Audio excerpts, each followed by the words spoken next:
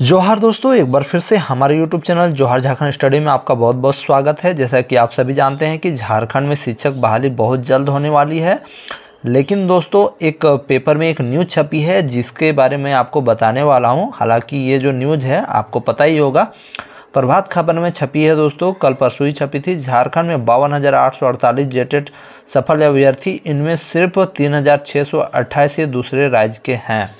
तो पूरा डिटेल बताते हैं इस न्यूज़ का कि आखिर इसमें क्या लिखा है, क्या सच है, क्या झूठ है। सब कुछ बताएँगे, उससे पहले अगर आप हमारे यूट्यूब चैनल बनाए तो इस चैनल को ज़रूर सब्सक्राइब कर लें।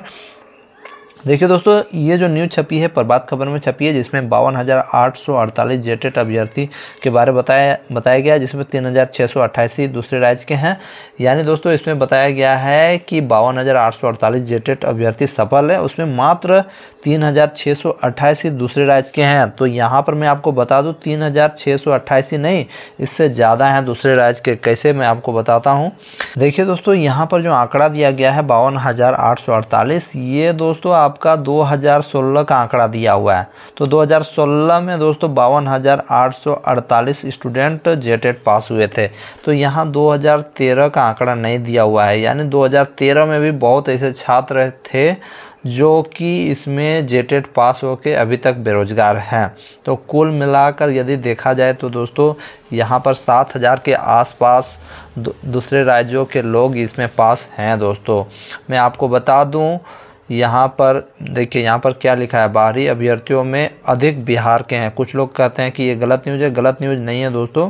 देखिए, यहाँ पर भी साफ़ साफ़ लिखा हुआ है दोस्तों, यहाँ पर 2016 का सिर्फ़ आंकड़ा दिया हुआ है। बाहरी अभ्यर्थियों में अधिक बिहार के 2016 में सफल जेटेट अभ्यर्थियों तीन हज़ार छः सौ अट्ठाईस अभ्यर्थी दूसरे राज्य के हैं। इनमें कक्षा एक से पाँच के लिए बारह और कक्षा छः से आठ के लिए दो हज़ार तीन सौ इकसठ अभ्यर्थी सफल हुए थे। दूसरे राज्यों के सबसे अधिक अभ्यर्थी बिहार के हैं। इसके अलावा पश्चिम बंगाल, उत्तर प्रदेश और उड़ीसा के भी कुछ लोग शामिल हैं।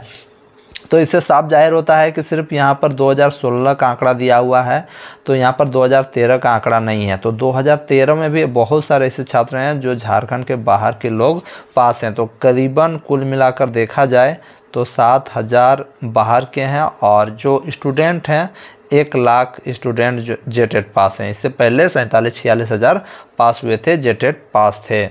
और इसमें क्या कुछ लिखा है दोस्तों थोड़ा बता दें। आने वाले दिनों में राज्य में जितनी भी नियुक्तियाँ होने वाली है उनमें सबसे अधिक पद शिक्षकों के हैं। राज्य सरकार द्वारा प्राथमिक और मध्य विद्यालय में शिक्षकों के लिए सर्जित पचास हज़ार पदों पर दो चरणों में नियुक्ति होगी। पहले चरण में छब्बीस हज़ार शिक्षकों की नियुक्ति होनी है। इस आ, इसके लिए वर्ष 2016 झारखंड जेटेड पास अभ्यर्थी आवेदन कर सकते हैं। तो यहाँ पर इन्होंने एक गलत चीज़ लिखा है, सिर्फ़ 2013 नहीं, दो 2016 नहीं 2013 वाले भी आवेदन कर सकते हैं, ठीक है? सबसे अहम बात है कि इन योग्य अभ्यर्थियों में मात्र तीन हज़ार छः सौ अट्ठाईस अभ्यर्थी ही, तीन हज़ार छः सौ अट्ठाईस नहीं है। बबुआ की, अबुआ की, बबुआ सरकार 2016 के अनुसार तीन सौ, तीन हज़ार छः सौ अट्ठाईस है। 2013 में भी बहुत सारे ऐसे छात्र हैं जो बाहर से पास हुए हैं। तो कुल मिलाकर यहीं पर लिखा गया है और यहाँ पर यह भी लिखा गया है 20 मई तक अधियाचना कर्मचारी चयन आयोग को भेज दी जाएगी, यानी 20 मई तक भेज दी जाएगी और उसके बाद पहली बार देखिए, यहाँ पर यह भी लिखा हुआ है, पहली शिक्षक पात्रता परीक्षा 2013 और दूसरी 2016 में हो चुकी है। पहली बार हुई परीक्षा के आधार पर 16000 शिक्षकों की नियुक्ति हुई है। वहीं अधिकतर अभ्यर्थियों की उम्र सीमा समाप्त हो गई है। यहाँ पर कहना है कि पहले वाले का अधिकतर का उम्र सीमा समाप्त हो गई है। बाबू, उम्र सीमा में भी सात साल का सरकार छूट दे रही है। ठीक है, सबका उम्र सीमा नहीं समाप्त हुई है बाबू। दूसरी बार वर्ष 2013 में हुई झारखंड शिक्षक पात्रता परीक्षा में बावन अभ्यर्थी ही सफल हुए थे। तो इस न्यूज़ के माध्यम से जो भी, जिसने भी न्यूज़ बनाया है, वो दिखाना चाहता है कि तीन हज़ार छः सौ अट्ठाईस अभ्यर्थी ही दूसरे राज्य के हैं। तो ये गलत है, क्योंकि दोस्तों, मेरे ही सामने काफ़ी ऐसे छात्र हैं जो 2013 में टेट पास हैं और अभी तक उनका उम्र बचा हुआ है, अधिकतरों का, बचा हुआ है। तो उसी प्रकार दूसरे राज्य के भी लोग हैं, और उम्र सीमा में भी झारखंड सरकार ने सात साल का छूट दिया है। सात साल छूट देने जा रही है, जितना साल से बहाली नहीं हुई। उतने साल का छूट दे रही है।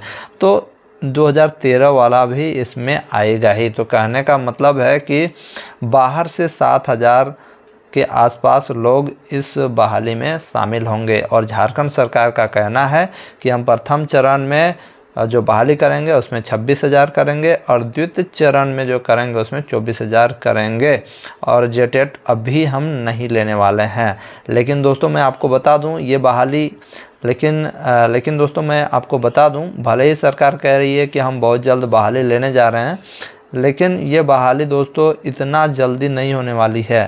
आ, जब तक जेटेट नहीं होगा या सीटेट मायने नहीं होगा।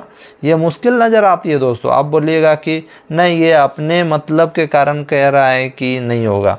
देखो भाई, मैं जो कह रहा हूँ, सच कह रहा हूँ, क्योंकि आप देख सकते हो कोर्ट कचहरी में क्या होता है। केस किया हुआ है, ठीक है? केस। केस का सुनवाई जून में होने वाला है, ठीक है? जून में होने वाला है। भले ही आपका फॉर्म आ जाएगा। हेमंत सोरेन किसी तरह से फॉर्म निकाल देंगे, ठीक है? फॉर्म निकाल दिए, फॉर्म भरते रहेंगे आप, फिर बीच में डिसीज़न आएगा। कि जेटेट परीक्षा ले लेना है या सी टेट को माइन कर देना है, क्योंकि हाईकोर्ट जो डिसीज़न देगा उसको तो हेमंत सोरेन को मानना पड़ेगा। सिंपल सा बात है, और सरकार के पास कोई बहाना नहीं है, क्योंकि इन्होंने दो वर्ष इतने सालों में एक बार टेट परीक्षा नहीं लिया है। टेट तो नहीं ली, नहीं लिया है सी टेट को भी मान्य नहीं कर रहा है। तो सरकार, आप लोग, भले ही आप लोग मन मन में गुड़ और चूड़ा सान के खा रहे होंगे, खाइए, कोई दिक्कत नहीं है, लेकिन जो होगा वही मैं बता रहा हूँ। देखिएगा फॉर्म वॉर्म सब भरा जाएगा और एक अदालत का डिसीज़न आएगा हाई कोर्ट से डिसीज़न आएगा और सरकार को अपना जो वैकेंसी है, उसको स्टे करना पड़ेगा और सारा काम करना पड़ेगा। तो देखते हैं आगे क्या होता है। फ़िलहाल के लिए बस जान लीजिए कि बाहरी सात हज़ार इसमें आ रहा है फॉर्म भरने के लिए। ठीक है? तो सरकार का जो ये कहना है, बहुत कम है, बहुत कम नहीं है, बहुत ज़्यादा है। ठीक है? चलो friends bye bye take care